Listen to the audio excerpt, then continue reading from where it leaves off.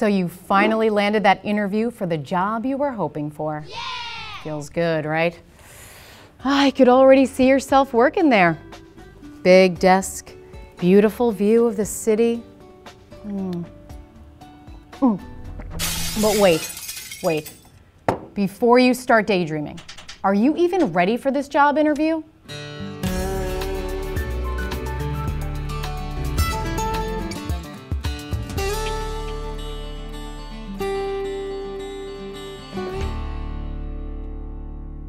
By failing to prepare, you are preparing to fail, said Benjamin Franklin after not being hired. Hmm. Preparing properly before your interview can be the difference between success and failure.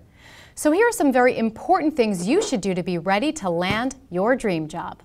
First of all, put on your detective's cap and Google the company. Learn all about what they do and how they do it. Research their website, learn about their strategy and mission. Try to find articles, press releases, case studies, and white papers, anything and everything that will give you more insight into the company. The more you know about the company and the job, the more attention you'll get. Request an interview itinerary with names of the people, titles, and departments involved in the interview. Do some research on Google and LinkedIn. Check all the social networking sites and blogs. Review each person's profile, their individual strengths, personal interests, and employment history. Use this knowledge to create common ground with them, mentioning your similar experiences and background during your interview. Spend some additional time studying the job description. Read it thoroughly and prepare examples of how your experiences align to the position. Focus on relevant strengths and accomplishments that fit what the company is seeking. If there are aspects of the position where you haven't had extensive experience, research them so you have a more complete understanding and can discuss those things intelligently. Assess your work experience honestly. Go into the meeting prepared to give examples of how you have quickly and successfully adapted to new processes, procedures, and technologies.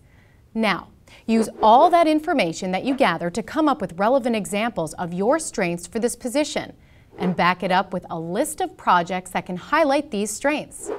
Also, be prepared with insightful, intelligent questions to ask about the company, the department, and the immediate goals of the position. Prepare a presentation on how you are the right person for this job. Show them what you bring to the table and why you'll be highly successful in this role. Think of ways to link how your strengths and experience will help the company to be more successful and how you can add value. If this is a high-level position, maybe you should create a PowerPoint presentation with all that information to show how you are perfect for the job. Practice what you're going to say. Anticipate some of the more difficult questions and how you should answer them. Have positive reviews, reference letters, and relevant awards, all available anything that differentiates yourself from others the company's interviewing.